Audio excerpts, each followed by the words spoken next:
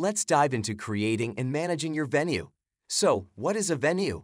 It's a bundle of all your ListenWIFI components, conveniently grouped together and associated to your account. Your first venue is automatically set up when you create your account. After the first venue is created, you can easily add, manage, or delete additional venues as needed. New venues are created by selecting the plus sign next to Add New Venue.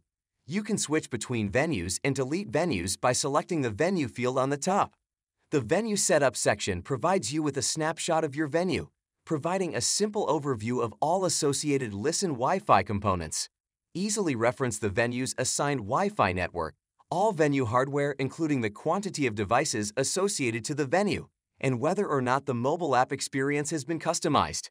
Want to give your venue a friendly name? Just select the pencil icon next to the venue name to edit. This will help you keep track of which venue that you're working with within the Manager software.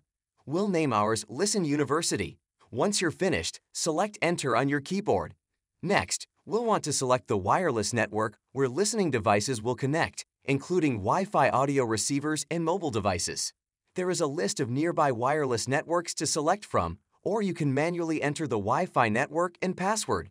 We'll go ahead and select our network. Just remember to hit Save when you are finished. A network QR code is also available to allow guests to easily connect to your wireless network using the camera on their mobile device. After your network information is saved, you can select the QR code icon to edit, copy, and print it. Want to transfer ownership or move your venue to a new computer?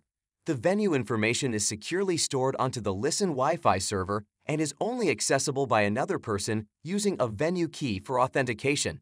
To facilitate a venue transfer, you would first need to write down and store the venue key.